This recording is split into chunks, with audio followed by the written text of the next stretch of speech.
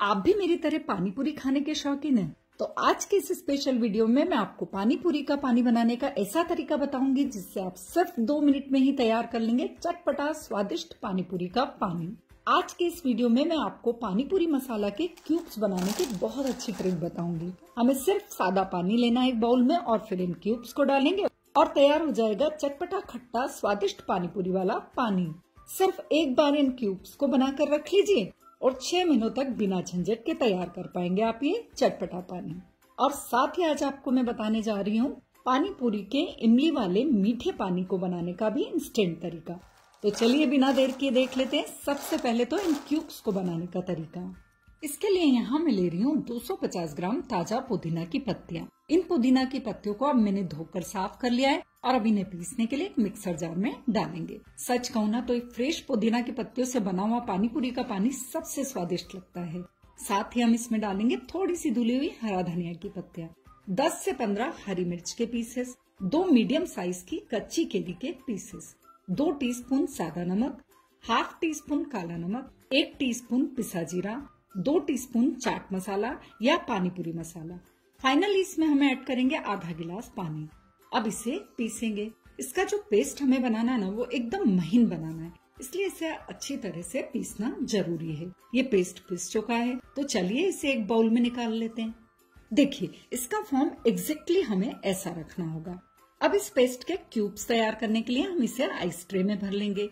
सिर्फ़ एक बार की हमारी मेहनत लगती है और लगभग छह से आठ महीनों तक जब भी पानी पूरी का पानी बनाना होगा ना तो हमारे लिए एकदम इजी रहेगा और पूरे समय हमें केरी पुदीने का स्वादिष्ट पानी का मज़ा आ पाएगा।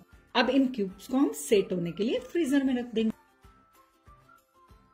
ये देखिए अब, ये हमारे पानी पूरी मसाला के क्यूब्स तैयार हो चुके हैं। अब जब भी हमें बनाना होगा पानी पूरी का पानी, एक बाउल में ले लेंगे हम पानी और इसमें डाल देंगे ये पाँच से सात क्यूब्स और इन्हें मिक्स करते हुए मेल्ट करेंगे।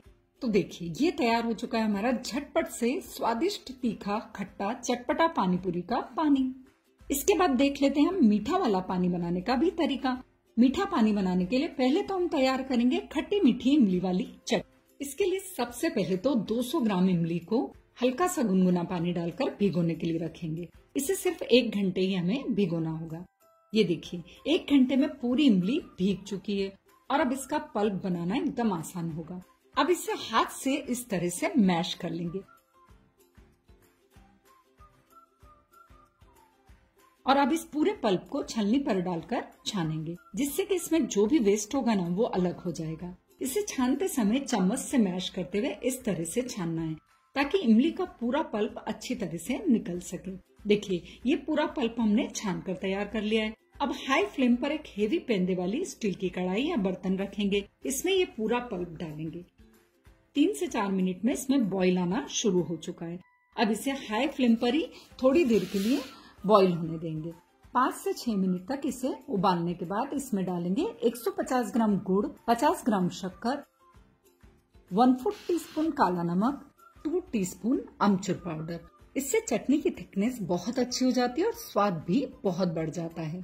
अब डालेंगे वन फोर्थ टी स्पून काली मिर्ची पाउडर, हाफ़ टी स्पून सिका जीरा पाउडर, हाफ़ टी स्पून लाल मिर्च पाउडर, एक चम्मच सादा नमक। अब इन सभी मसालों को इमली के इस पल्प में अच्छी तरह से मिक्स कर देंगे। अब आप देखिए, गुड़ और मसाले डालने से इस चटनी का कलर बहुत ही अच्छा हो चुका है। लो फ्लेम पर सभी मसालों के साथ इसे बॉईल करेंगे। ये देखिए फ्रेंड्स तीन से चार मिनट उबालने पर ही इसका फॉर्म बहुत अच्छा हो चुका है, ये काफ़ी गाढ़ी पड़ चुकी है। इससे ज़्यादा इससे हमें गाढ़ा नहीं करना है, क्योंकि जब ये चटनी ठंडी होगी ना, तब भी ये और गाढ़ी पड़ जाएगी। अब तुरंत ही हम गैस का फ्लेम ऑफ़ कर देंगे और इस चटनी को ठंडी होने के लिए रख देंगे। ये देखिए, जैसा कि मैंने कहा था, ठंडी होकर ये एकदम थिक हो गई है और इसका फॉर्म एकदम परफेक्ट हो चुका है। इसे हमने एक भी बूंद तेल यूज़ किए बिना ही बना लिया है। अब इस चटनी को प्रिजर्व करने के लिए इस तरह के चौड़े मुँह वाली दो बॉटल्स में भरेंगे। इस तरह की बॉटल में भरने से चटनी को निकालते समय हमें आसानी रहेगी। अब इन बॉटल्स को बंद करके फ्रीजर के डोर वाली साइड में रख देंगे। देखिए फ्रेंड्स कुछ दिनों तक फ्रीजर में रखने के बाद भी इस चटनी का फॉर्म एकदम सॉफ्ट ही है। अब जितनी चटनी हमें यूज़ करनी है, उतनी ही निकाल लेंगे। ये चटनी सभी तरह की चाट में बहुत यूज़ आती है। एक बार में ही इसे एक साथ बनाकर रख लें और छह महीनों तक यूज़ करें। अब इसी चटनी से हम पानी पूरी का पानी कैसे बनाएँगे वो देख लेते हैं। इस चटनी में से चार पाँच टीस्पून जितनी चटनी ले लेंगे, इसे डालेंगे एक बड़े मिक्सिंग बाउल में और साथ ही इसमें ऐड करेंगे टू टीस्पून गुड़ और डालेंगे पानी। अच्छी तरह से इसे मिक्स कर लेंगे ताकि गुड़ मेल्ट हो जाए और इसके बाद हम इसमें डाल देंगे बूंदी। ये तैयार हो गया है हमारा खट्टा मीठा वाला इमली का पानी पूरी का पानी। तो देखा ना फ्रेंड्स कितना इजी तरीका है ना ये। एक बार ये ट्रिक आप भी अपनाइए और जब भी चटपटी पानी पूरी का मज़ा लेना है, ले लीजिए। और अगर आपको आज का ये वीडियो पसंद आया हो तो लाइक कीजिए और ज़्यादा से ज़्यादा शेयर कीजिए। थैंक यू फॉर वॉचिंग मिलते हैं फिर जल्दी ही एक नए वीडियो के साथ। Till then take care bye